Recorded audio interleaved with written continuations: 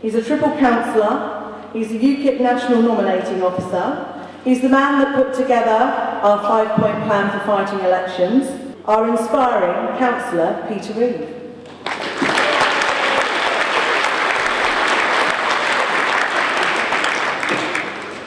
Good morning, conference.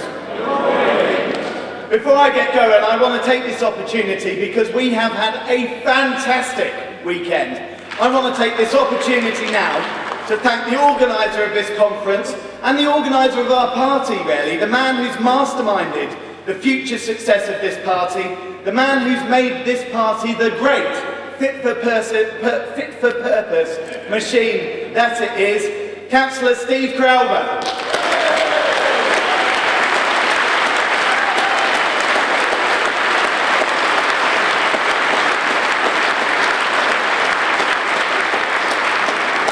Before I go on, and I've got a couple of things I need to address with you, I think it's about time I came clean.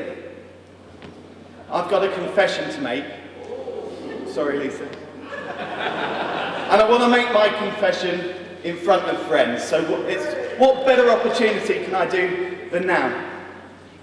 Ladies and gentlemen, my name's Pete Reeve, and I'm addicted to UKIP.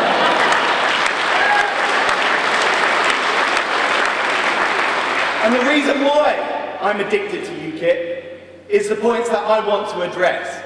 And that's, these points are what makes our cause and our purpose so special.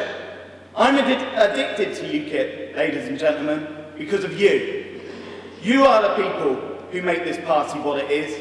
You are the people who have made this whole movement exist and made it the credible force that is changing politics and keeping this government in check with the disastrous policies that it's putting forward, not just on Europe, but also on the domestic arena. arena. Ladies and gentlemen, I want to thank each and every one of you.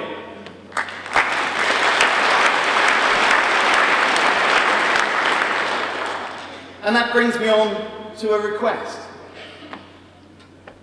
Our cause is absolutely vital.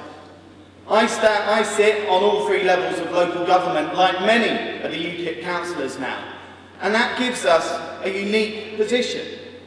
We can see at town and parish level in Tier 1 councils, we see the devastation that's being pushed on to those volunteer councillors who don't get paid a penny, they're in it for their community, and they work damned hard from every party. Those parish and town councillors are under huge pressures right now as they see the weight of service demands being pushed down upon them. What Cameron called big society and localism, people on towns and parishes are feeling as pressure and burdened because the big councils are really seeing them as the opportunity to be able to fleece the taxpayer, whilst the bigger councils have been capped on what they can raise in tax, they notice that the loophole in the system, the deliberate loophole, that they're hoping will go under the umbrella, they're hoping will go unchecked, unnoticed, is that town and parish councils can continue to raise precepts unchecked. And the problem we face is that the districts and the counties are pushing them to do it. Services like public toilets, like roads, and even in some areas policing, is now being paid for out of your parish and town precepts. And then when we look at the tier two councils, the districts and boroughs, we see real problems. Ladies and gentlemen, planning is in crisis. And it's in crisis because of this government and David Cameron. We are seeing up and down this country the green and pleasant land that this party believes in, this party will stand up for, and this party will fight for, being destroyed. It's being destroyed by overdevelopment, and it's being destroyed by wind farms, and even now, Osborne doesn't think there's enough houses. He's passing bills in Parliament to further uh, uh, destroy our green and pleasant lands. What they've created isn't a flexible planning system for the people which was promised. They've created a developer's charter, and a lawyer's paradise. Because now, ladies and gentlemen, it's virtually impossible to, uh, to confidently be a council and oppose unnecessary housing. And it's absolutely the case that planning in this country is no longer done democratically.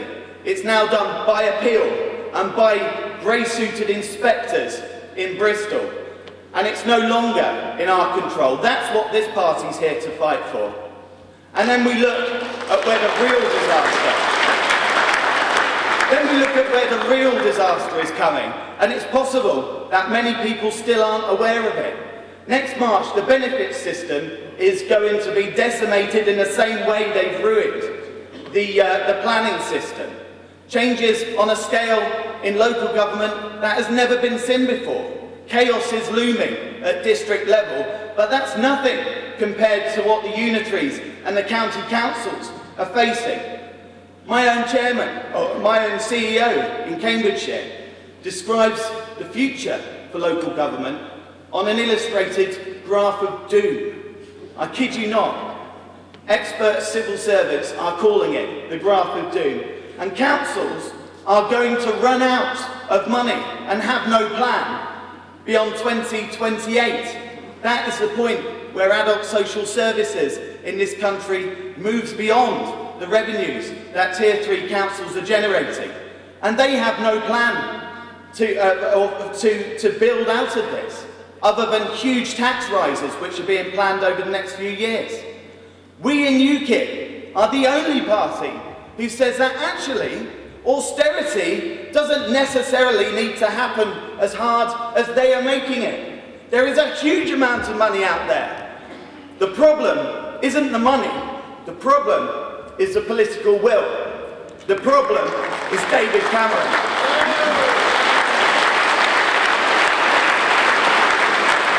Mr Cameron, if you were to invest in our local societies, our people, our children, our family, our roads, our communities, if you were to choose to invest in them instead of investing in the European Union, the club that you are so addicted to, if you were to choose to invest in our communities instead of giving foreign aid to countries that don't need it,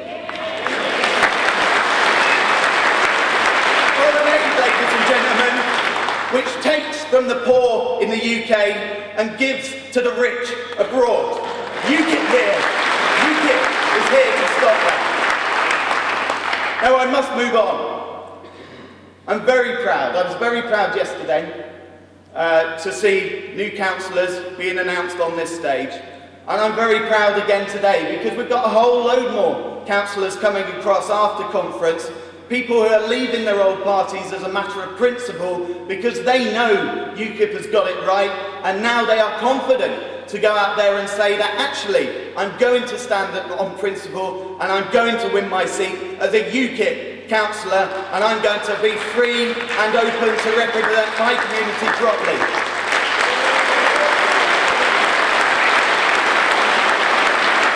But I'm proud again now to introduce you uh, one of my running mates in Cambridgeshire. Councillor Lester Wilson is a Cambridgeshire County Councillor who I'm proud to say is a partner on that council with me in our group and we are making huge differences to our local community. Ladies and gentlemen, for the first time on stage at UKIP conference, County Councillor Lester Wilson.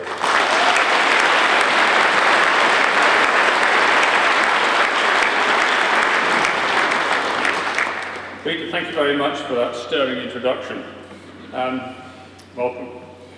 I represent over 10,000 people in the largest single-member constituency in Cambridge County Council. This is a sizable part of ex-Health Secretary uh, Andrew Lansley's Westminster seat. You know, Andrew Lansley, remember him? I held this seat for 10 years as a Conservative. And for some of those years, I was also Andrew Lansley's constituency chairman. I joined UKIP as I considered a deliberate decision, and here is why. I believe David Cameron will be the very last Conservative Prime Minister.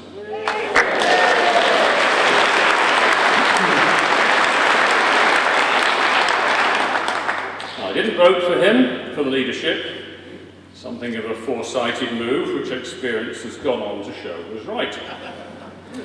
The Conservative part of the coalition is behaving, to my mind, as a wholly owned subsidiary of the Liberal Democrats.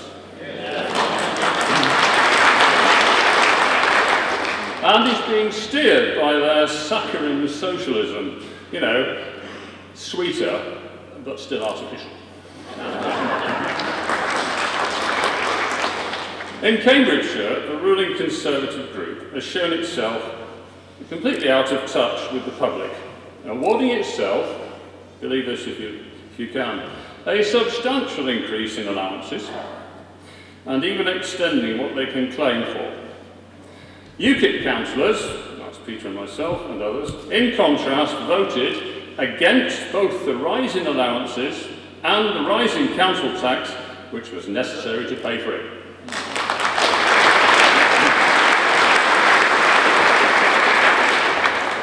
UKIP councillors do not claim expenses in Cambridgeshire, and we have set a striking example of restraint and responsibility.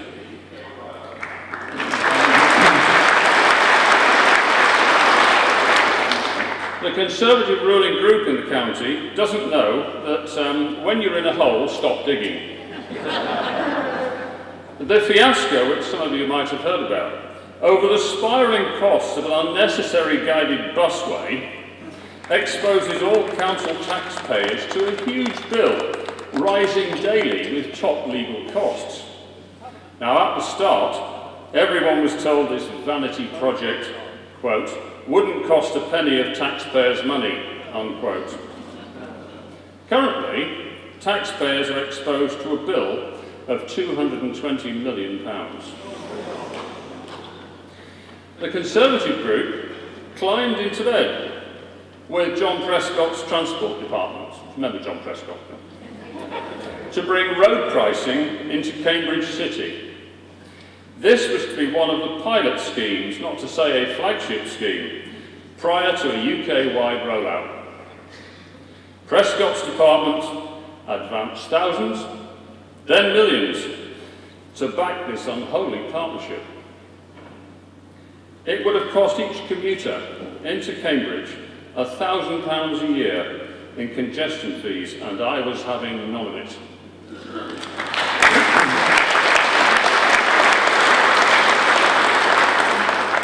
In the teeth of opposition, from the cabinet downwards, I led a two-year campaign opposing the charge. You'll notice that Cambridge doesn't have a congestion charge because we won.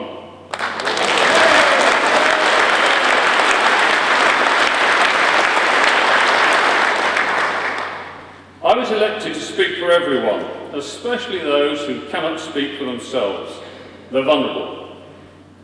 I took a stand against the Conservatives and the Lib Dems in opposing gypsy sites.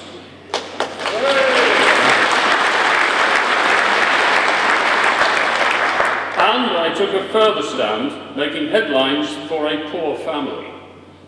The Conservatives and the Lib Dems could not handle anything outside Uh, a cosy comfort zone. I don't believe this is right, and I join UKIP.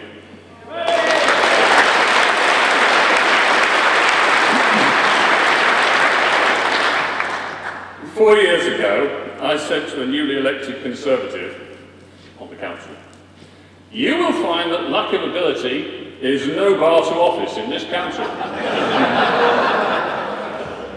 I can tell you, he is now the leader of the council. Draw your own conclusions. I am not to be swayed by passing fashion, and I have no time for political correctness.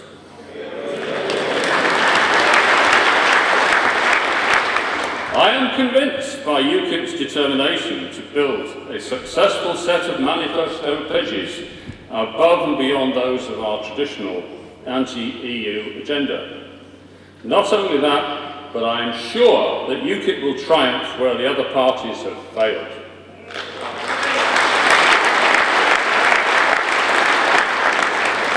And why not? We have integrity, competence, a clear moral compass, and we don't fiddle our expenses. Thank you.